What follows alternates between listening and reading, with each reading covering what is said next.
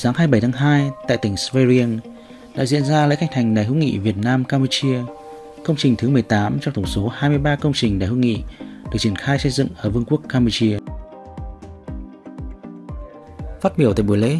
Đại sứ Nguyễn Tăng khẳng định công trình Đài hữu nghị Việt Nam Campuchia tại tỉnh Sverieng nói riêng và tổng số 23 đài hữu nghị Việt Nam Campuchia nói chung là sự ghi nhận sâu sắc đối với sự giúp đỡ kịp thời, chân thành và cao đẹp của nhân dân, quân tình nguyện Việt Nam trong công cuộc đấu tranh lật đổ chế độ diệt chủng Pol Pot và sự nghiệp xây dựng, phát triển đất nước Campuchia.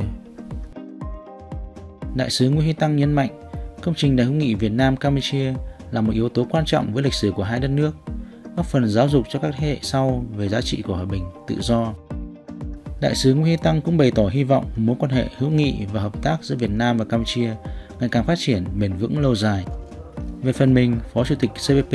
Samdech Mensamaan cho biết, Campuchia và Việt Nam là hai nước láng giềng tốt và bạn bè tốt.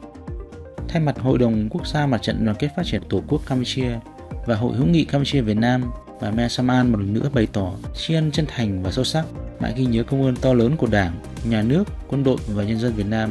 đã công hiến, hy sinh cho công cuộc giải phóng, giải cứu Tổ quốc và nhân dân Campuchia thoát khỏi thảm họa diệt chủng, đóng góp vào tiến trình tìm kiếm hòa bình cho đất nước Campuchia.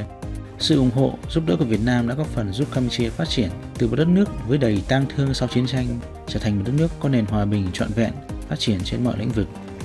Bà Samdech Mensaman nhấn mạnh, CPP,